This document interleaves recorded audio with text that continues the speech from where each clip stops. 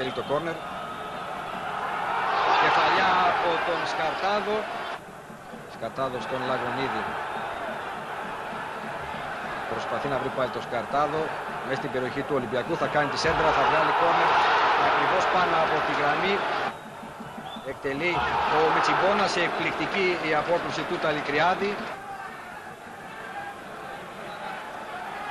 Ξεφεύγει και από τον Αποστολάκη. Κάνει τη σέντρα. Τολμπά. Τολμπά θα δώσει στον Λαγωνίδη, θα μπει στην περιοχή. Θα κάνει το σούτ και το πρώτο γκολ για τον Πάοκ. Είναι το πρώτο γκολ για τον Πάοκ από τον Ακώστα Λαγωνίδη στο 13ο λεπτό του αγώνα.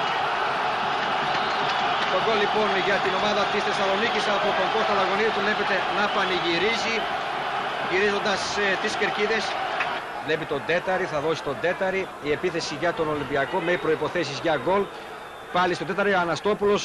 Εύκολη όμως η προσπάθεια του Αγκιτσούδη Τολμπά Σέντρα Κεφαλιά.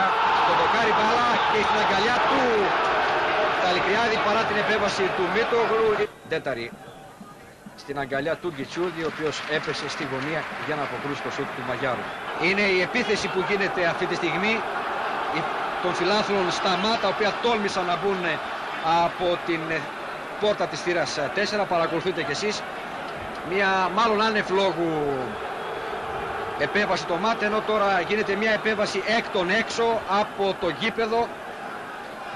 Βλέπετε κι εσείς ε, σε όλη τους τη διάσταση τη μάχη. Οι φίλαθλοι επιτίθενται και οι αστυνομικοί αμήνονται. Βλέπουμε και ένα ασθενοφόρο.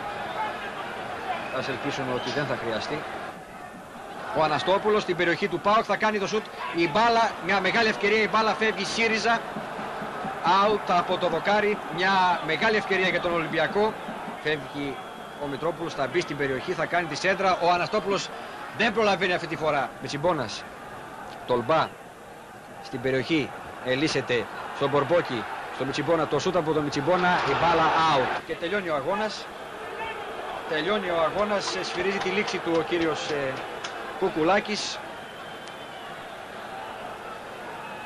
Είναι λοιπόν η